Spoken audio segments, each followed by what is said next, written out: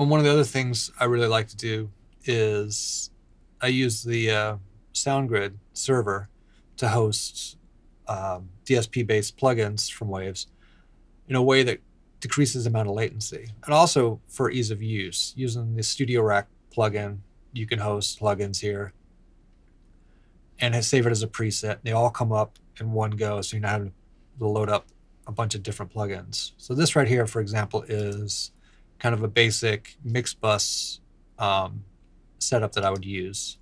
You know, the Kramer tape, um, the PuigTec, um, and an L3 max multi-maximizer. And to give you an idea of what that sounds like before and after, here I'll run part of the track again.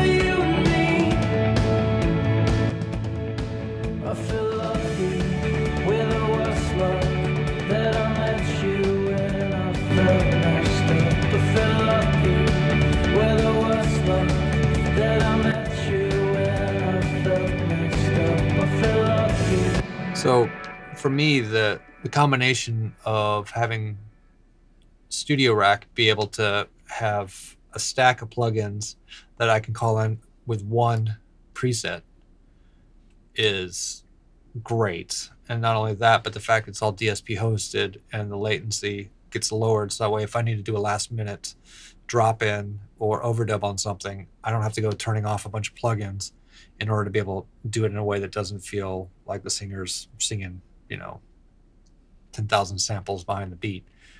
Um, I also use it a lot, like I said, when I'm tracking. Like I have a preset here called distorted vocal tracking, which I can load up and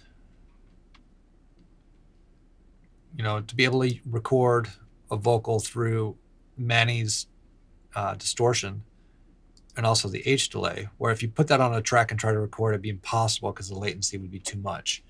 But having it in Studio Rack and having it on the sound grid is incredible. Um, it makes it so that we can create really vibey vocal sounds that you know is hopefully inspiring to a singer, and then you can record through it and then tweak it after the fact. You know, because it's all DSP based. Um, you're not committing to it on the way in but you're still getting the benefit of being able to perform with it, which I think is key.